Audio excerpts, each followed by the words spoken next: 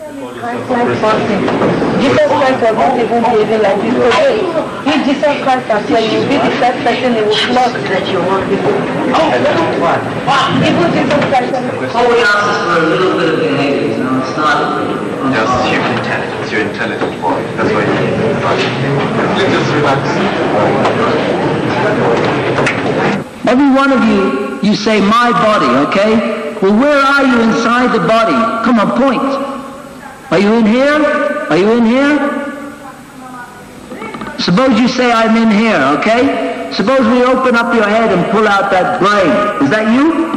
Put it on the table. Is that you on the table? Is it? Suppose you say I'm in here. And we take out your heart and, or your chest and put it on the table. Is that you on the table?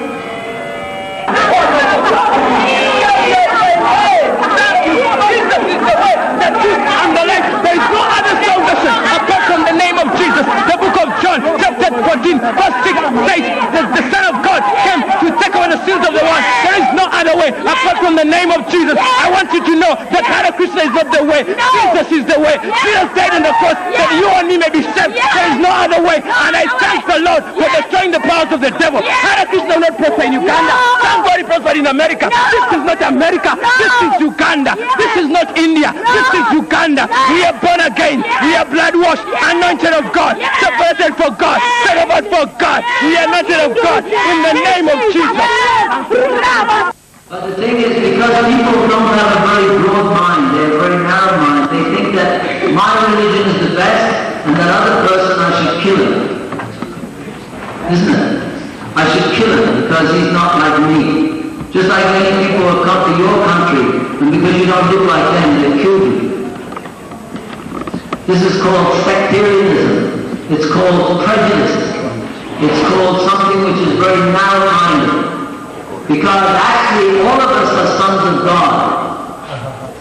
We are all sons of God, whether we're African or Chinese or English or Irish, whether we're Christian, Muslim, Jews, we're all sons of God. Just Our gospel is not philosophy. Our gospel is the revelation of the Son of God who left heaven to die for my sin and for your sin. There is no other way under which you can attain your salvation. I rebuke that spirit of darkness upon your life and I command to leave you and I command you to get saved in Jesus' name, the Son of God. It's God's Spirit in them, all right. I don't think it's the Holy Spirit. So the difference between the spiritual world and the material is that one is limited and one is unlimited. And Jesus is the only link. So therefore,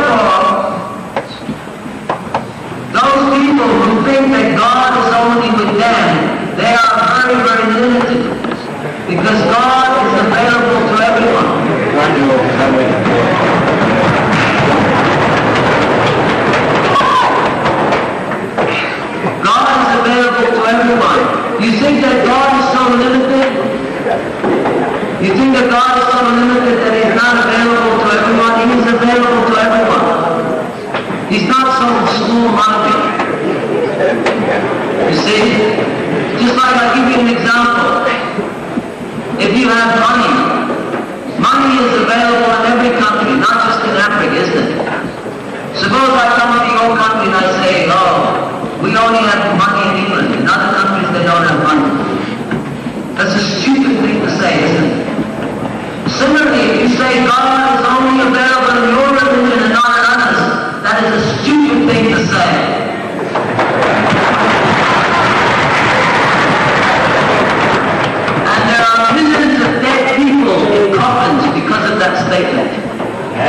Yes, because of that statement, because of that narrow attitude, millions of people have been killed in the history of the world because someone is thinking, my country is the best, therefore let me go and kill this other country.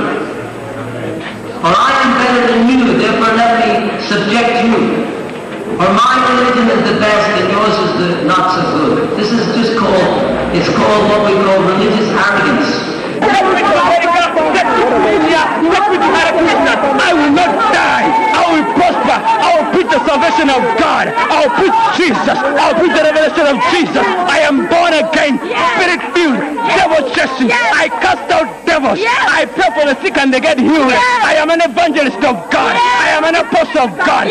Anointed. I preach Jesus only. Yes, and everyone watching that video, we bind you in Jesus' name. We command you to receive Jesus. Hallelujah. The blood of Jesus breaks every stronghold.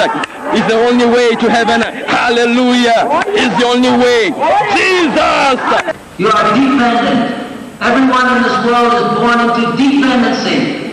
But God is independent. He is 100% independent. And if he wants, he can send 100 billion representatives. It's his choice. You cannot tell God what to do, what not to do.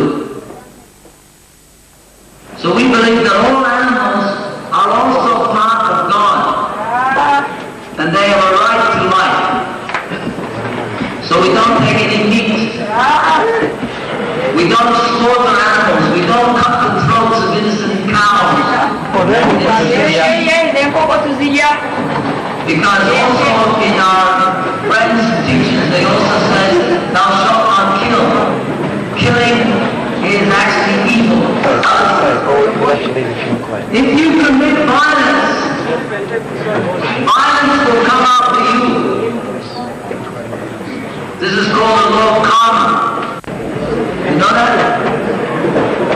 Every action you do, you will get a reaction.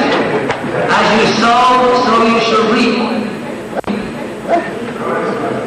Okay, so therefore, whatever you do in this world, just like many people think that I will go to church and worship God. But then afterwards I will eat the chicken. Yes. Yes. So, let me say one thing. If you like to eat meat, why don't you go out in the jungle and eat the lions? They're also very tasty. The reason you don't eat the lions is because they may eat you.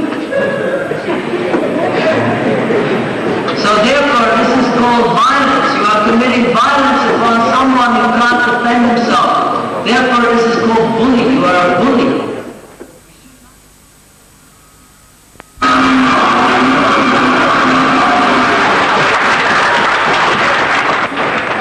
This is what you call uneducated statements. Uneducated statements. If someone reads our books, we would be happy to discuss with them who is Krishna, whether he's alive or dead. Just like if you go out to the desert and you meet someone who's in the desert all his life, and he comes up to you and he says, oh, your mother is dead. How does he know whether he doesn't even know your mother? So the point is, it's not a question. It's not even an intelligent question to ask because Krishna is not dead. Krishna is not a material body. He is not made of matter.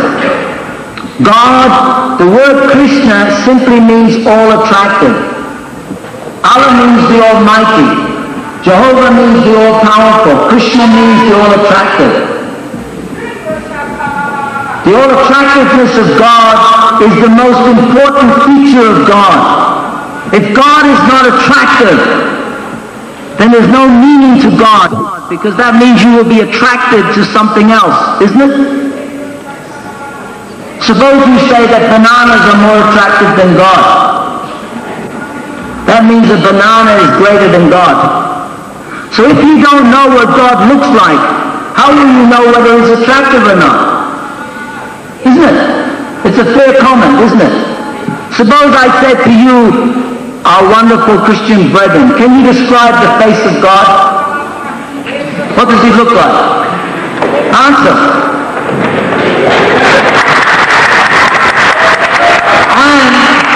Will question you one thing. Don't tell me he looks like Jesus Christ because Jesus Christ said there is one greater than me, my Father. It's him whom you worship. It's him whom you worship. My Father is the one you worship. You tell me the face of your Father. What is the face of the Father of God? What does he look like?